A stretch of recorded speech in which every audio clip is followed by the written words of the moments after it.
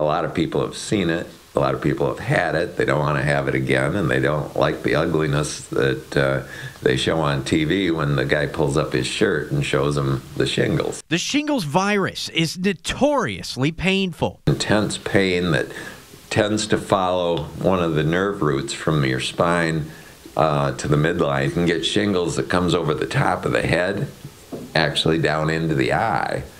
And that's a nasty thing to have. It's because of that excruciating pain. There's huge demand for the shingles vaccine, Shingrix. Problem is, there's also a huge shortage of the vaccine across the nation. We've got pharmacies that have waiting lists with 80, 100 people or more just waiting to for it to become available. Health departments generally are, are using it on folks with no insurance and those at higher risk. Dr. Russell Bush, the medical director of Saginaw County Health Department, believes the reason for the shortage is the marketing of the vaccine and the massive demand. But the company that makes it to satisfy that demand would have to be really in overdrive. Another problem Shingrix isn't just one shot. You get the first dose, then return in two to six months for the second. Otherwise, you don't have to start over or anything, but you run some risk of getting shingles in between. Dr. Bush says that if you're searching for this shingles vaccine, the best thing you can do